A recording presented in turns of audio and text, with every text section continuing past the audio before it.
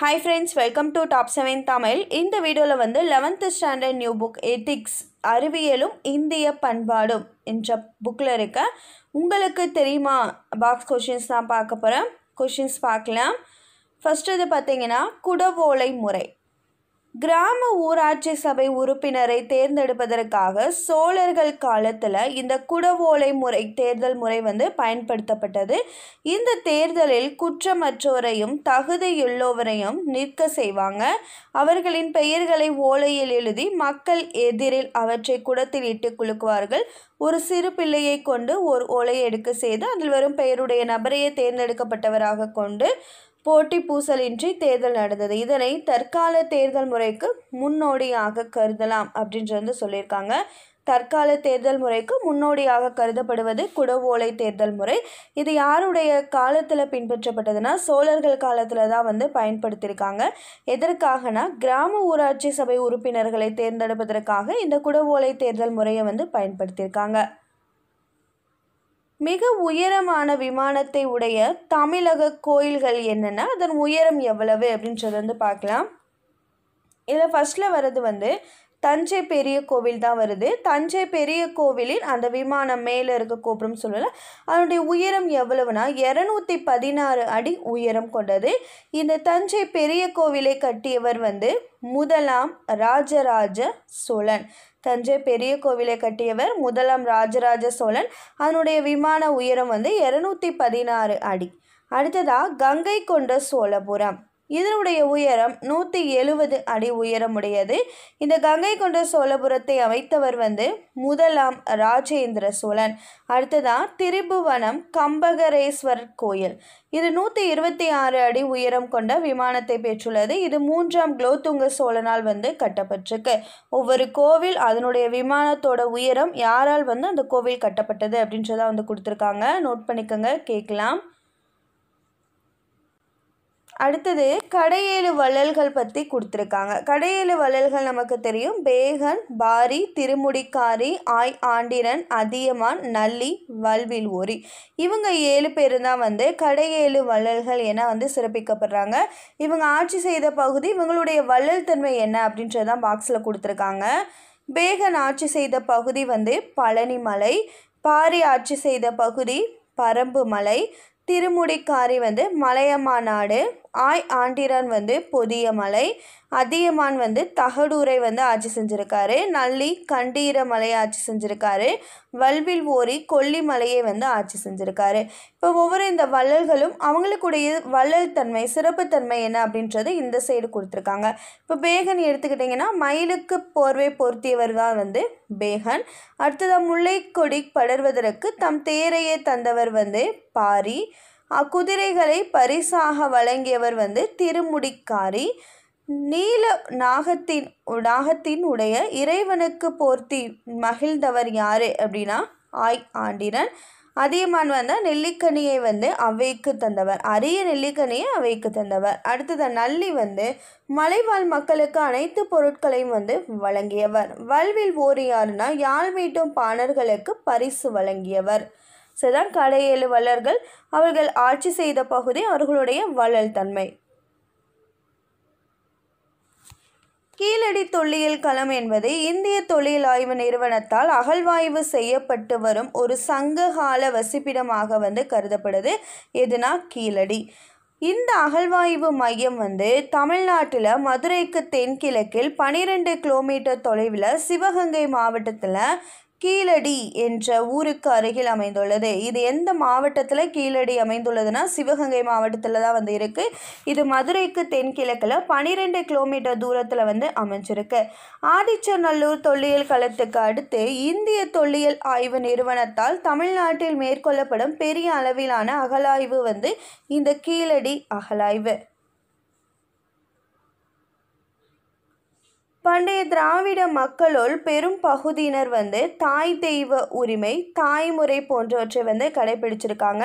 இவற்றின் காரணமாகவே திராவிட மக்களிடையே பெண் தெய்வ வழிபாடு பெருவழக்காக இருந்தது என சமூக அறிவியல் அறிஞர்கள் வந்து குறிப்பிடுறாங்க. தமிழகத்தில் கட்டடக்கலை மற்றும் சிற்பக்கலையை பயிற்றுவிக்கும் அரசு கல்லூரி வந்து எங்கே அமைந்துள்ளதுன்னா மாமல்லபுரத்தில் வந்து அமைந்துள்ளது. இது எந்த வகை கல்லூரினா தமிழகத்தினுடைய கட்டிடக்கலை மற்றும் சிற்பக்கலையை பயிற்றுவிக்கும் கல்லூரியாக வந்து அமைந்துள்ளது. அரசு கல்லூரியாக. சிந்துவெளி எழுத்துக்கள்.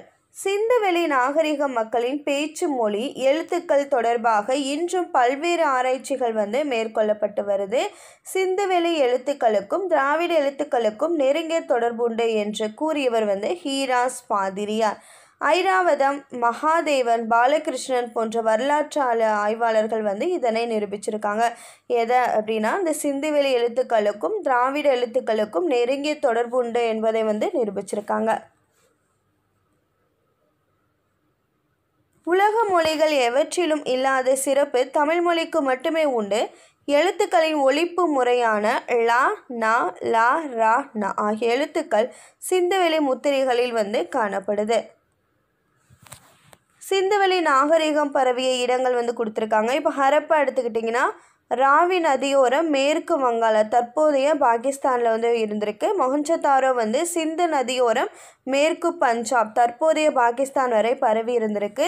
ரூபார் வந்து சட்லஜ் நதியோரம் பஞ்சாப். லோத்தல் சட்லஜ் நதியோரம் குஜராத். காலிபங்கன் காக்கர் நதி தென் கரையோரம் ராஜஸ்தான். சாகுந்தாரோ சரஸ்வதி நதியோரம் ராஜஸ்தான் வரையும் பரவி இருக்கு. ராஜஸ்தான் மாநிலம் தற்போதைய ராஜஸ்தான் மாநிலம். அடுத்தது பார்த்தீங்கன்னா தொல்வீரா என்பது கபீர் மாவட்டம் குஜராத் வரை வந்து பரவியிருக்கு கோட்டிச்சி என்பது சிந்து மாகாணம் வரை பனவாலி ஹரியானா சுர்கோட்டா குஜராத். இதுதான் வந்து சிந்து செலு சமவெளி நாகரிகங்கள் வந்து பரவி இருந்த இடங்கள். லோத்தல். குஜராத் மாநிலத்தின் அகமதாபாத் மாவட்டத்தில் அகழ்வாராய்ச்சியின் போது எஸ் ஆர் ராவ் என்பவரால் கண்டுபிடிக்கப்பட்ட இடம்தான் வந்து லோத்தல். இந்த இடமானது சிந்து சமவெளி நாகரிக காலத்தில் இருந்த துறைமுகம். உலகில் மனிதனால் உருவாக்கப்பட்ட முதல் செயற்கை துறைமுகம் தான் வந்து இந்த துறைமுகம். இந்த துறைமுகம் மூலமாக எகிப்து மெசபடோமியா உள்ளிட்ட நாடுகளுடன் வாணிபம் நடைபெற்று வந்தன. தமிழ்நாட்டில் நிகழ்ந்த போர்களில் த தெரியா பெரு பெருவீரர் பலர் ஒன்றிருக்காங்க. ஸோ அதாவது தமிழ்நாட்டில் நிறைய போர்கள் வந்து நடந்திருக்கு. இதில் பெயரே தெரியா பெருவீரர்கள் பலர் வந்து இருந்திருக்காங்க. அவர்களை பற்றி தெரிந்து கொள்வோமா அப்படின்ட்டு ஒவ்வொரு வீரர்களை பற்றி கொடுத்துருக்காங்க. இப்போ பாலாற்று வென்றான் என்று அழைக்கப்பட்டவர் யாருன்னா பாலாற்றங்கரையில் வெம்போர் புரிந்து வெற்றி பெற்ற வீரனை பாலாற்று வென்றான் என்று பாராட்டினர். வட ஆற்காட்டு ஆரணி வட்டத்திலும் வேலூர் மாவட்டத்திலும் பாலாற்று வென்றான் என்ற பெயருடைய ஊர்கள் வந்து இருக்கு.